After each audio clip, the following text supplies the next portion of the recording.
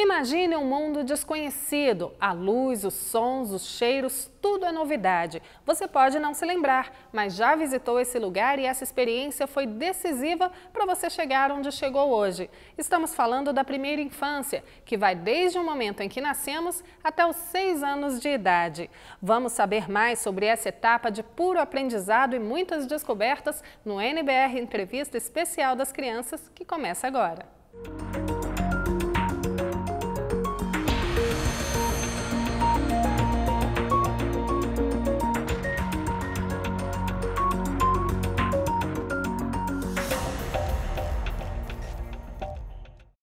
Para a gente voltar à infância e também aprender mais sobre todas as crianças que nos cercam, nossa convidada de hoje é a Silmara Schneider, psicóloga, psicanalista infantil, também trabalha com estimulação precoce e é professora universitária.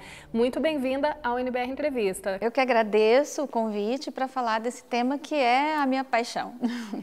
Que bom, e para o programa de hoje a gente escolheu esse lugar aqui super colorido que faz a alegria de qualquer criança, né, cedido gentilmente para a nossa equipe. E eu vou começar te perguntando, Silmara, a primeira infância é a principal etapa do desenvolvimento infantil? Tanto do ponto de vista biológico, né, a, a, o desenvolvimento, né, a constituição psíquica da criança, o desenvolvimento mesmo neurológico da criança está acontecendo em grande medida nessa fase, né? Então, é, muitas coisas que depois essa criança vai carregar pela vida dela fora, pelo restante da infância, pela adolescência e às vezes chega até na idade adulta, né, pode estar ligado com essa fase aí do desenvolvimento, né? Então a gente considera sim que ela é fundamental. Você falou em desenvolvimento neurológico. É verdade que o cérebro infantil é muito mais ativo que o de um adulto? É verdade, é muito mais ativo. É uma fase assim que depois na vida da gente nunca você vai ter tanta atividade, tanta, tanto desenvolvimento nessa área como você tem na primeira infância, né? Então você veja, para ele atingir um tamanho normal é lá por cinco anos que a criança atinge o seu tamanho normal, né? Do cérebro, do crescimento. E até então a aprendizagem, tudo, tudo que para a gente é extremamente simples, cotidiano, corriqueiro, automático, para a criança é uma nova aprendizagem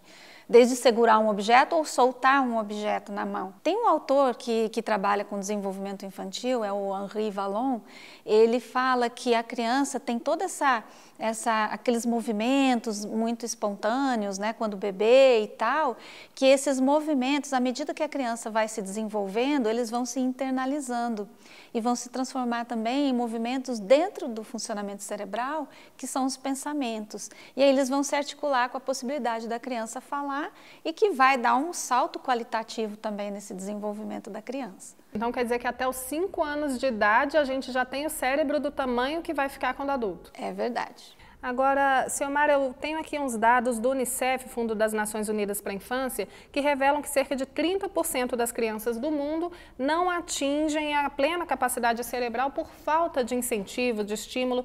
Então, qual a importância de estímulo desde cedo às crianças, com palavras, cores, música? A estimulação não precisa de nada muito assim milagroso, nem tecnológico, nem nada. É, são coisas simples, né?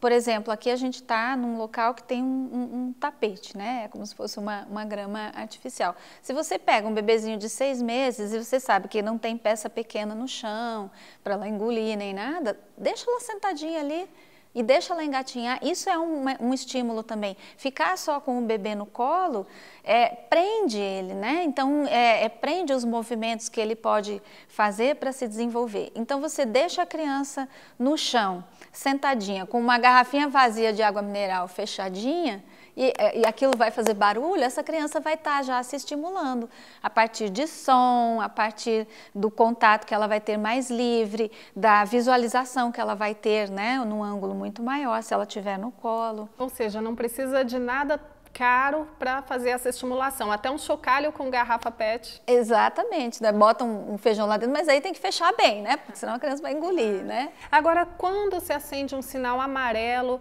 é, para um comportamento ou mobilidade que não estão de acordo com a idade da criança, quando os pais precisam começar a procurar ajuda? Principalmente quando a criança estiver apática, né? Se ela estiver assim, reagindo pouco, é, se você chama a criança, se ela te olha, né? Só quando você chama, já é uma coisa para você ficar atento, né? Porque uma criança, ela se guia pelo adulto, né? É o ponto de referência dela, é esse adulto, afetivamente e tudo. Então, se você vê uma criança, ela olha para a mãe com aquele olhar mais apaixonado do mundo, que a gente depois fica, ai meu Deus, esse olhar é, é, é uma paixão, né? Porque realmente conquista ali. Então, esse, esse menino, esse bebê, né? Ele vai procurar esse olhar da mãe né? Para tudo. A mãe está lá longe, ele sai seguindo ela com o olhar. Se ele não segue ela com o olhar, e se ele só olha para ela e ele está entretido olhando, parecendo que está olhando para o nada, e aí ele olha só quando a mãe chama, né? Já é um, um, certo alerta. Isso a gente tem que ficar atento porque realmente ele pode estar desligado do mundo e aí ele não vai receber os estímulos para se desenvolver e tudo mais. Agora pode ser um alerta para que tipo é, de situação? Autismo? É, a gente pensa, digamos assim, que o quadro mais conhecido seria o autismo, mas tem outras situações também que, que geram essa apatia, essa, a gente chama né, na, na psicanálise de essa desvitalização da criança, como se ela não tivesse é, ligada né, ao seu referencial de mundo, que é o adulto, os cuidadores dela, né? Mara, quando a criança precisa ser encaminhada para uma terapia infantil? Desde pequena, algumas crianças têm essa indicação? É a partir desse momento que aconteçam atrasos no desenvolvimento, né? É, se ela teve um nascimento prematuro, né, já, a gente já supõe que ela vai precisar de uma estimulação precoce, né? Então ela vai ter que acelerar o desenvolvimento dela para ela, digamos assim, entrar né, no nível de desenvolvimento esperado né, para a faixa de idade dela. Então, a criança que está mais apática, não está fazendo o olhar direito com a mãe, ou então não está falando, está demorando para andar, aí é um indicativo para pensar numa psicoterapia infantil. Muitos pais se preocupam que, ah, meu filho está demorando muito a falar, mas cada um tem seu ritmo, a gente sabe disso. Mas qual é o momento em que realmente é, pode estar tá acontecendo alguma coisa errada, o pai precisa buscar ajuda médica? Então, só a ausência de fala não é um fator tão preocupante assim, porque tem criança que ela, ela é tão atendida pelos seus cuidadores que ela não vê necessidade de falar né? Ela olha para um negócio, o objeto vem parar na mão dela, então para que, que ela vai falar, né? Então ela às vezes demora um pouquinho mais para falar. Ela precisa ser provocada. É Exatamente. É então a mãe tem que falar o tempo inteiro com a criança e também quando a criança estiver olhando para alguma coisa, a mãe se fazer de desentendida, entendeu? Falar, filho, o que, que é? O que, que você quer? Não estou entendendo. Aponta, fala, tal, que aí você instiga a criança a falar, né? E nessa fase, Silmar, é importante também falar as palavras corretas, não Sim. ficar, por exemplo, dedeira, ao invés de falar mamadeira. A ideia é falar de forma correta já as palavras, isso ajuda? Esse tati-bitate que a gente chama, né, com o bebê, que não é nem o, o, o jeito da criança falar, é, é, é, como o adulto fala, né, que é um gu-gu-gu-gu, da-da-da-da, né, que as mães ficam repetindo, as avós, as tias, enfim, né? Ele não faz mal nenhum, mas é uma linguagem que, que depois a criança se acostuma com ela, né? Agora, isso de falar a dedeira no lugar da mamadeira, pepeta para chupeta, papato para o sapato, né? É, é, a forma que a criança entende os sons e vai reproduzindo. Então, se a gente falar correto, ela vai aprendendo e aí ela vai desenvolvendo a fala certinho. Agora, aquele cartão da criança do Ministério da Saúde, obrigatório para todas as crianças brasileiras que nascem, é um termômetro importante para acompanhar o desenvolvimento infantil? Sim, com certeza, né? Ele ali é a história de vida da criança, né? Então, é a história da saúde dela, da, da vacinação, das ocorrências que teve desde o nascimento, né? Então, ele é bastante importante, sim. Então, a criança precisa ser cuidada de forma integral, né? Em todas as áreas. A gente vai mostrar agora uma reportagem reportagem da TV NBR sobre o programa Criança Feliz do governo federal, que completou um ano e trata justamente da primeira infância. Vamos ver como ele está funcionando na prática. Olha só. O Criança Feliz pode ser definido como um programa que dá orientações sobre saúde, educação, cultura, garantia dos direitos e ações para a superação da pobreza. Erenilza, de 37 anos, é mãe de nove filhos. Ela conta que conheceu o Criança Feliz quando estava no hospital para dar à luz a pequena Bianca, hoje com apenas 15 dias. Ficou sabendo que os cuidados com a criança nos primeiros mil dias de vida são de muita importância para a saúde mental e emocional. De lá para cá, ela já recebeu duas visitas do programa. E o que a monitora ensina ajuda Erenilza a dar para a filha a oportunidade de se desenvolver plenamente. Eu não conversava com meus filhos, não tinha paciência de, de comunicar com eles, tirar aquela horinha para eles, né? Agora eu estou tirando a hora para eles, de conversar com eles. É incrível a abertura das famílias para o programa todas abriram, é, abraçaram o programa de uma maneira incrível, que você adentra a família e pode melhorar aquela família o que ela já, é, já tem de melhor. O Criança Feliz já tem a adesão de 2.615 municípios em todos os estados e em cerca de 700 cidades a visitação domiciliar já foi iniciada. O programa, que é voltado para crianças de até 3 anos beneficiárias do Bolsa Família e para crianças de até 6 anos que recebem o benefício da prestação continuada, teve investimentos de 300 milhões de reais em 2017. Para 2018, o investimento será de mais de um bilhão de reais. Até agora, são mais de 40 mil atendidos em todo o país. Essas crianças vão ter um desenvolvimento melhor, vão, vão chegar na escola em melhores condições que seus pais chegaram, em termos de capacidade de aprender, vão ter mais escolaridade e no futuro vão ter uma renda melhor que a dos seus pais e vão ajudar a família a sair da pobreza. A primeira-dama e embaixadora do Criança Feliz, Marcela Temer, acompanhou uma visita na casa de Raquel e Simval. O mais importante é ver as famílias recebendo os visitadores. Eu quero registrar a importância dos visitadores do programa Criança Feliz. Eles são a força do programa e junto com as famílias que são beneficiadas. Curiosidade de ver a minha filha crescendo mais evoluída, não ficando para trás das crianças. Silmara, como a gente pode escutar os bebês e as crianças, né, aí na primeira infância? Muitos não sabem nem falar, mas já sabem se expressar de alguma forma. Como a gente precisa ficar atento para essas expressões deles. Os adultos têm, às vezes, uma certa dificuldade em escutar. Eles gostam mais de já saber e prever o que está acontecendo com a criança, né? Mas num bebê, por exemplo, que não usa a linguagem verbal que a gente conhece, né? Para se comunicar. Ele vai chorar em algumas situações, o choro dele vai ser diferente, né, em diversos momentos, né. É, a própria satisfação da criança, daí a tranquilidade dela, o sono, é, algum, né, o sono de, de, horas longas também, né. É, é, esses fatores vão nos sinalizar que aquela criança está bem. Por exemplo, se, ela, se a mãe vai dar o banho, né? Se essa criança vai é pequenininha, mas ela vai com as mãozinhas assim, cerradas, fechadas, fechadas, né? É, você tem que né, ver que talvez essa criança esteja com medo né, do, do banho, talvez o, o, banho anterior tenha sido um pouco mais invasivo, então você vai com mais cuidado, né, vai fazendo uma massaginha na criança para ela relaxar, ela vai abrindo a mãozinha. Então é uma escuta, na verdade, de percepção. Até a linguagem né, corporal. De, é, é uma linguagem corporal, é o choro. E é muito importante que a mãe fale com a criança nessa fase, ah, mas ele não vai me entender. Vai, Pode ter certeza, ele não entende uh, o significado da palavra, mas ele vai entender a tonalidade com, com que essa palavra está sendo dita, e essa tonalidade vem né, cheia de afeto. E a fala da mãe com o bebê, para todas as atividades que a criança vai fazer, está colocando essa criança no mundo da linguagem. Mesmo que se porventura essa criança tenha nascido surda, ainda assim é preciso ser falado com ela, porque o surdo também entra no mundo de falantes. E é desse mundo que ele tem que fazer parte também, né? Então, ou seja, sempre a linguagem, sempre o olhar e sempre o contato, né? É, corporal mesmo a sensibilidade do adulto para tudo isso.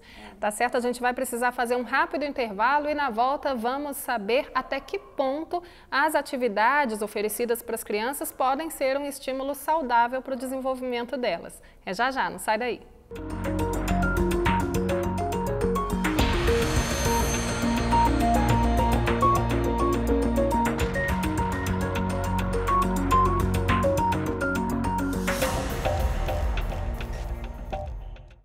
Já estamos de volta com o NBR Entrevista e nossa convidada de hoje é a psicanalista infantil Ciomara Schneider, o assunto primeira infância.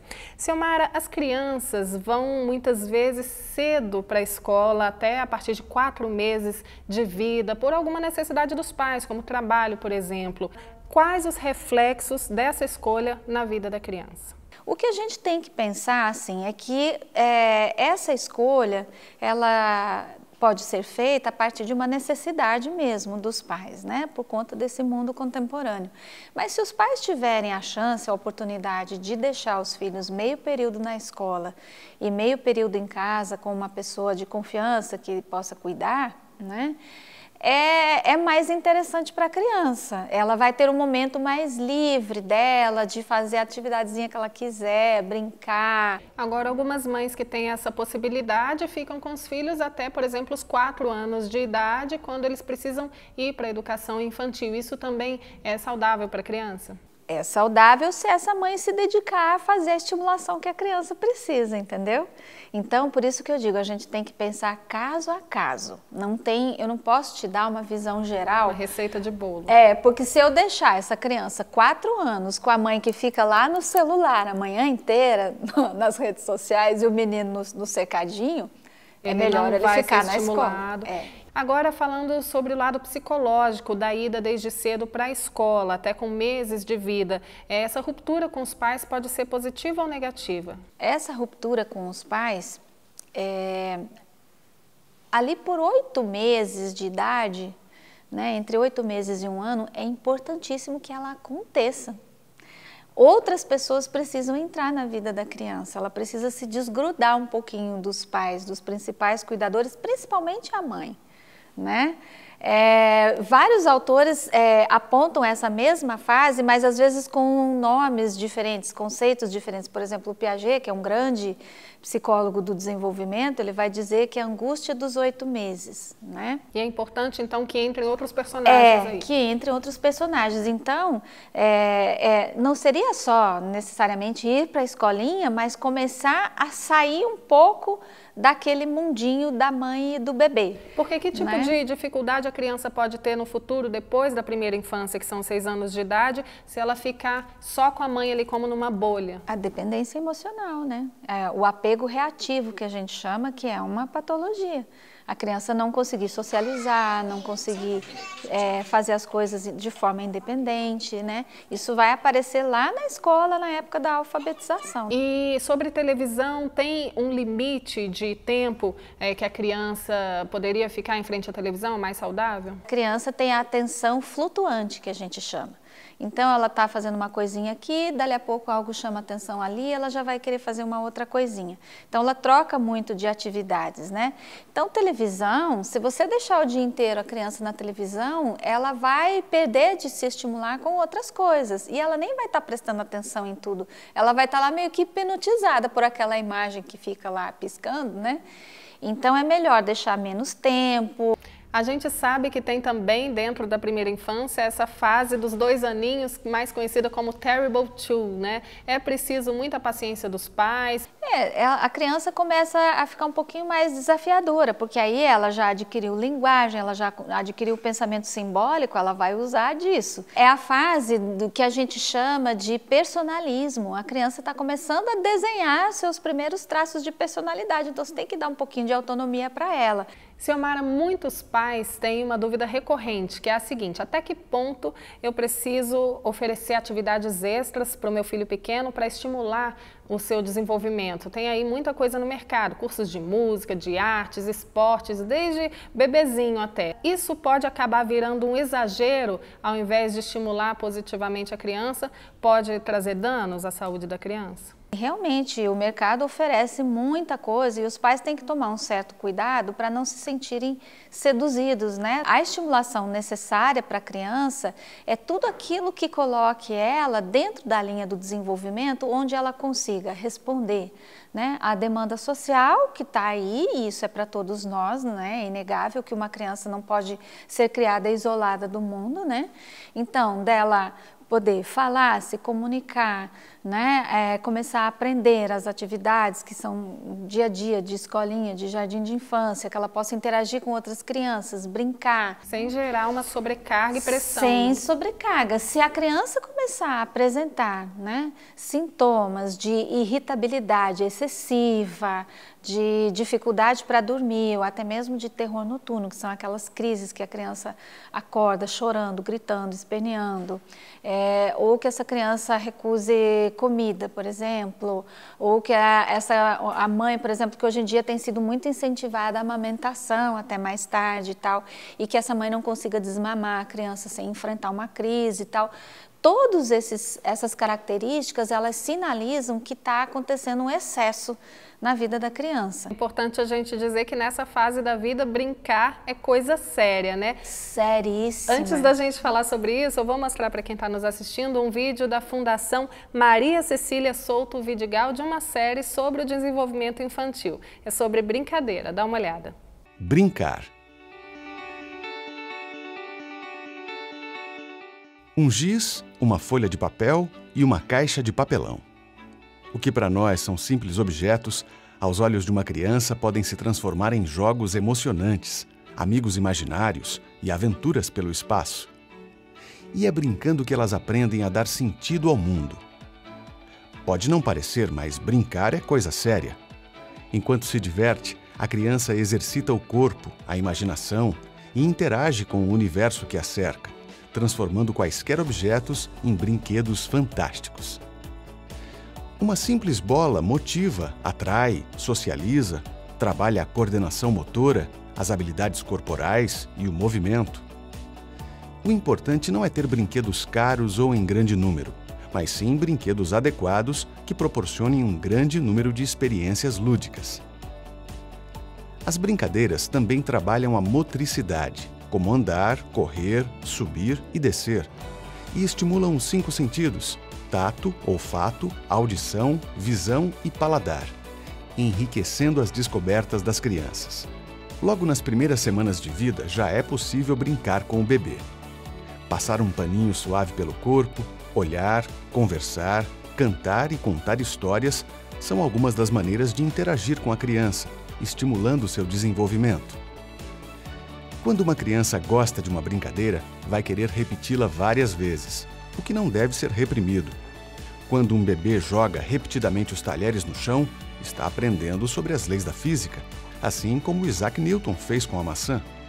O tempo que as crianças se conectam às brincadeiras também deve ser respeitado. Apesar de coisa séria, brincar não precisa ter a interferência constante de gente grande. É importante que os pais e outros adultos participem com atenção e afeto, mas as crianças podem e devem brincar também livremente, sozinhas ou entre si.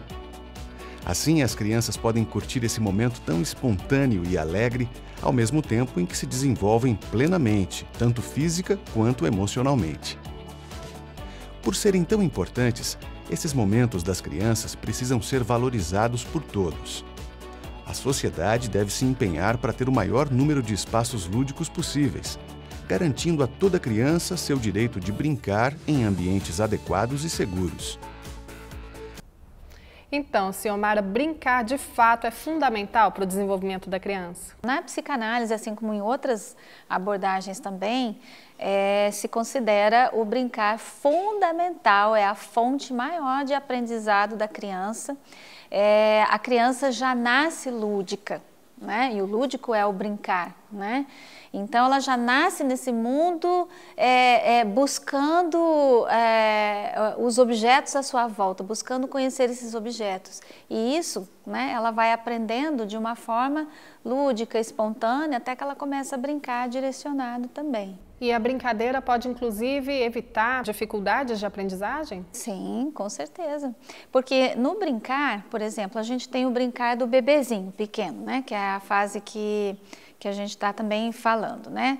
De 0 a 2 anos, vamos supor. É, a gente chama de jogos funcionais, é a brincadeira com o corpo. Você já viu o bebê chupando o pezinho, ou mordendo o dedo do pé, ou a mãozinha, que eles ficam muitas vezes brincando? É eles aquela brincam, fase oral, né? É, é, mas eles brincam, e é uma fase oral e uma fase corporal também, né? A gente chama de sensório motora Né? Então ele está aprendendo os movimentos e está aprendendo a sentir as coisas através do corpo. Então ele brinca de, de rolar, ele brinca com os lábios, ele brinca com os pés, com as mãos, né? Aí a gente, o adulto vai acrescentando coisas nesse brincar funcional com o próprio corpo da criança. Aí o adulto vai e coloca um chocalhinho, coloca um, um outro bichinho, um móvel para ter um som, e isso é um, um, um acréscimo, um a mais nessa estimulação e que é excelente para o desenvolvimento da criança. Mais tarde, na, na partir de dois anos, o brincar vai ser na área da fantasia, o brincar de princesa, o brincar de Homem-Aranha, de Batman, aquelas coisas que as crianças adoram, né? Aí vem uma terceira fase posterior, que são o que a gente chama de jogos de fabricação, que são aquelas coisas de montar, de inventar, de construir, que é importantíssimo também. E cada uma dessas é, fases, desses tipos de brincadeira, eles desenvolvem alguma coisa na criança, auxiliam no processo de aprendizagem. E aí, em um momento da vida, a gente acaba perdendo esse vínculo com a brincadeira e quando a pessoa se torna pai e mãe, volta a essa fase. É, porque não deveriam perder. E os pais precisam muito brincar com os filhos também. É fundamental. Certo. Bom, o nosso programa já está quase chegando ao fim, mas queria que você deixasse uma mensagem para os pais que estão nos assistindo, os professores, pessoas que cuidam de crianças. É, que dica você daria para estar tá atento ao desenvolvimento infantil? Em primeiro lugar, os pais têm que ser pais eles mesmos, dentro do pensamento deles, dentro da personalidade que eles têm. Eles precisam também viver, trazer de novo um pouco a experiência de filho que eles foram também. Né? E somar a isso, a, a, aos novos conhecimentos que eles vão adquirindo e que eles é, tenham total segurança de que não existe a regra certa ou a regra de ouro para cuidar de um filho, para criar um filho a gente vai viver muito um processo de experiência e cada experiência é singular. Cada criança tem o seu tempo né, de desenvolvimento e cada pai e mãe é, aprende a ser pai e mãe também nessa experiência prática com o filho. É uma troca. É uma troca. Então, quando nasce um bebê, nasce um pai e uma mãe também. Claro que eles vão se sentir inseguros muitas vezes, eles vão se sentir com dificuldades, vão pensar: meu Deus, vou deixar morrer, não vou dar conta. né? A sensação quando você tem um, pega um bebê recém-nascido é que você não vai dar conta de cuidar daquela criaturinha. Mas você vai, mas tem que ter muita confiança. E a primeira coisa que os pais têm que fazer é transmitir para o filho essa confiança. O pai e a mãe eles têm que dizer para o filho o que fazer, e não esperar que o filho, com dois anos de idade, tome a iniciativa sozinho. Não, ele vai sair das fraldas quando ele quiser. Não, ele vai sair das fraldas quando você tirar ele das fraldas. Ele precisa dessas regras. Ele precisa da regra e da referência. É o ponto de referência o pai e a mãe. Com certeza é um assunto muito rico, mas a gente está chegando ao fim. Agradeço muito a sua participação aqui no NBR Entrevista, Silmara. Então, tá bom. Eu que agradeço a oportunidade. Como eu tinha falado no início, eu gosto muito de falar nesse assunto. Se você me deixar, eu vou até de noite. Imagina, vamos ter outras oportunidades. Então, tá bom. Obrigada. bom, e nesse clima de brincadeira, de aprendizado, a gente vai chegando ao fim. Se você perdeu um trechinho desse programa, pode sempre rever lá no nosso canal no YouTube. A gente também conta com a sua sugestão de pauta, de entrevista manda um e-mail para a gente, para programasnbr.ebc.com.br. Te vejo no próximo NBR Entrevista. Tchau, tchau.